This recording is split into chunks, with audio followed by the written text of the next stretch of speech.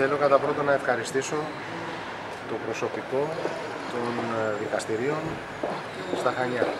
Χωρίς τη δική τους προσφορά, η οποία ξεπερνάει την, ε, το πεδίο της υποχρέωσης που έχει ένας ε, δικαστικός υπάλληλος, δεν θα λειτουργούσαν με τον εξαιρετικό τρόπο που λειτουργούν τα δικαστήρια στα Χανιά.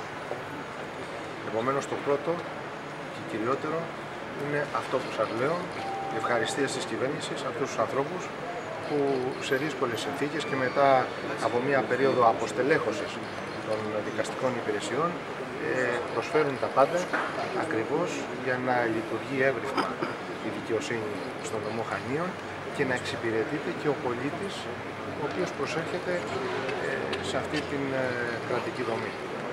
Θέλω επίσης να ευχαριστήσω τους δικαστικούς και εισαγγελικούς λειτουργούς για την παρουσία τους και για την ε, εργατικότητα που επιδεικνύουν σε όλα τα επίπεδα. Ε, ήδη γνωρίζετε από χθες ότι στους άμεσους στόχους της κυβέρνησης σε συνεργασία με το Υπουργείο Οικονομικών, το Υπουργείο Δικαιοσύνης ε, θα δρομολογήσει τους επόμενους μήνες την παραχώρηση των παλαιών φυλακών για να στεγαστεί εκεί το αρχείο των δικαστηρίων. Με την κίνησή μας αυτή ε, βελτιώνουμε σε μεγάλο βαθμό ε, την κατάσταση του κτηρίου, της λειτουργίας των υπηρεσιών, δημιουργούνται χώροι ούτως ώστε όλοι να εργάζονται υπό ανθρώπινες συνθήκες χωρίς πίεση και άγχος. Δεν σημαίνει αυτό ότι είναι το μόνο και το τελευταίο πρόβλημα.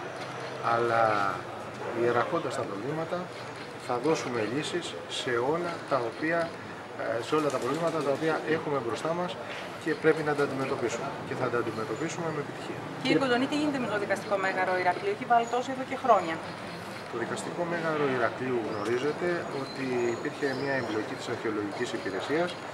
Ήδη έχει δημιουργηθεί στο Υπουργείο Υποδομών ειδικό γραφείο για την ε, περάτωση αυτού του έργου και τους επόμενους μήνες θα προχωρήσει άμεσα και αυτό. Είναι από τις εξαγγελίες του Πρωθυπουργού, ε, οι οποίες ε, θα υλοποιηθούν στο πλαίσιο της τετραετίας.